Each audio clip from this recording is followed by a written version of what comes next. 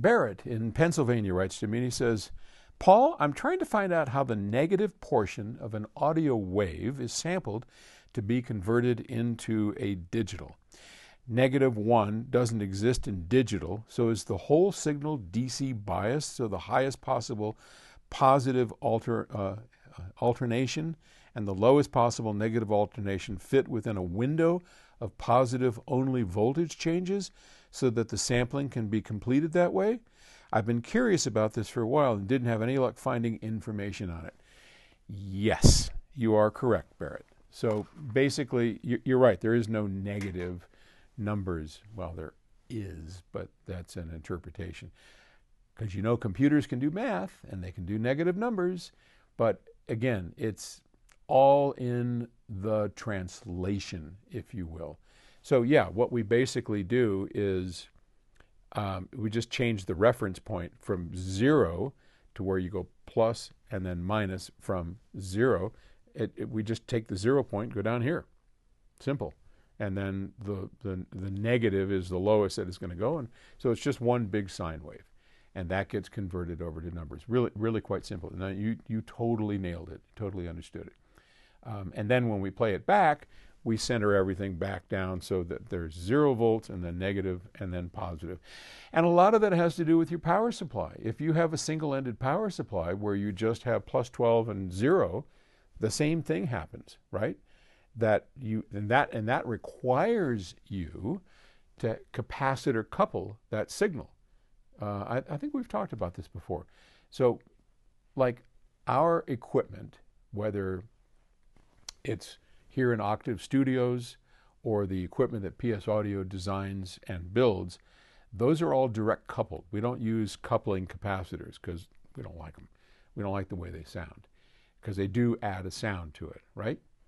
But in many well, you know what? I just I just lied. I just said something wrong because we use all Manley vacuum tube amplifiers for our preamps. All these microphones all go through Manley vacuum tubes, and those are all cap coupled because a vacuum tube uh, isn't complementary. There are no, there's no such thing as a negative vacuum tube, right?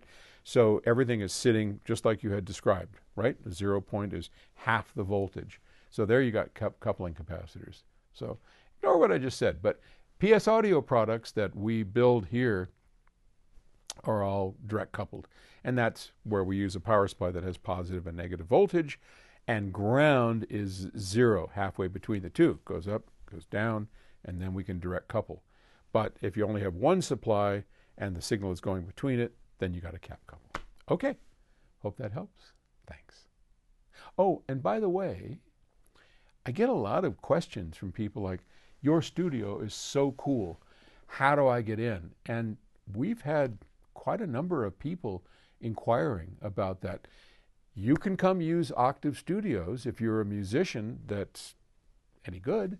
If you send us uh, a sample and we like what you do, we'll record you for free. We just did a fabulous uh, Tyler Burba. The guy is amazing. And he came up, he heard about this offer. Come on up and we'll do you for free he spent a week here. He flew in from New York. His buddies come from New Orleans and uh, Minneapolis, and they put together a fabulous record here in Octave Studios. And uh, Tyler paid for his trip, of course, but we paid for all the studio time. We're going to produce an SACD at our expense.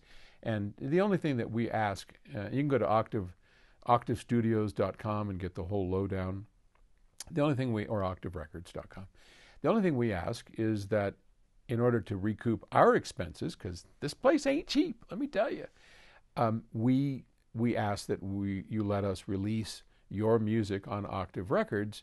We sell I don't know how many I think 300 copies or something, and then we're whole.